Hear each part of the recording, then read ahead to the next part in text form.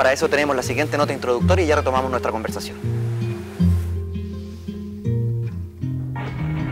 La Junta mantendrá el Poder Judicial y la asesoría. El 12 de septiembre de 1973, un día después del golpe militar, las tropas se apostaban en el frontis de la Universidad Técnica del Estado con el fin de desalojar a los 600 alumnos y académicos que se amotinaron para resistir la ocupación.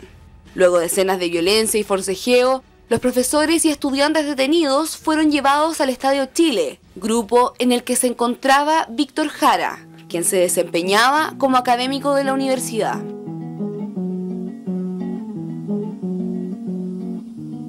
Víctor Jara pasó sus últimas horas encerrado junto a un grupo de personas en los subterráneos del Estadio Chile, con sus manos fracturadas y la cara deforme por las torturas recibidas durante los interrogatorios.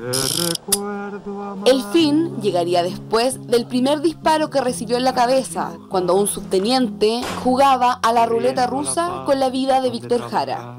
El cadáver fue encontrado en las afueras del cementerio metropolitano y llevado hasta el Instituto Médico Legal como NN.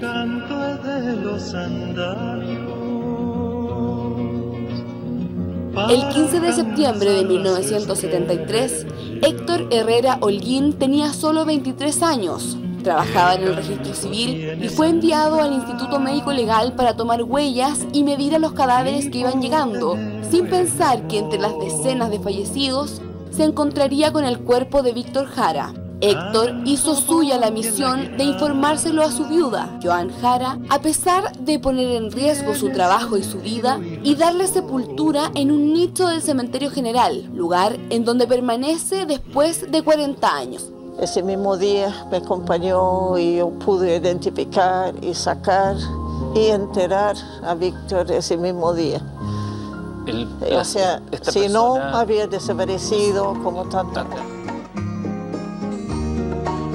Hoy Héctor Herrera habla de su secreto más preciado y que guardó durante 35 años, el día en que rescató el cuerpo sin vida